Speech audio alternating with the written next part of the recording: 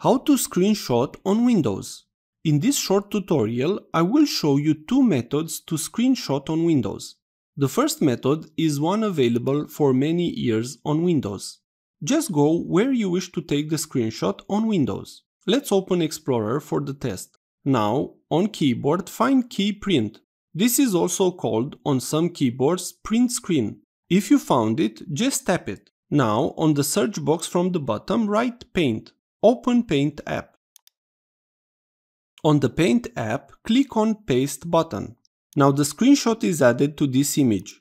For you to save the image, click on File and select Save As. You can select different types of pictures. Use what you want. Now save the file. Another way to save a screenshot on Windows is the following. Let's close first Paint. Go to the search box from the bottom and write Snip.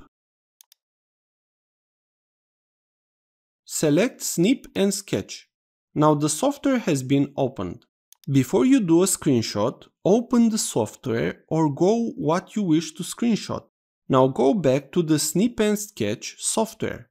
Click on New from the top. Now you have the possibility to select what part you want to screenshot. After the section is made, Windows automatically copy that part into the software. Here, you can edit the screenshot. You can add text, write something with the pen, and also crop the image how you wish. Check a bit these options. After you have finished the edit, to save the file, click on the Save button from the top right. You have saved the screenshot on Windows. If this was useful, please like, share and subscribe. Also, if you have any questions, please ask them in the comments area below.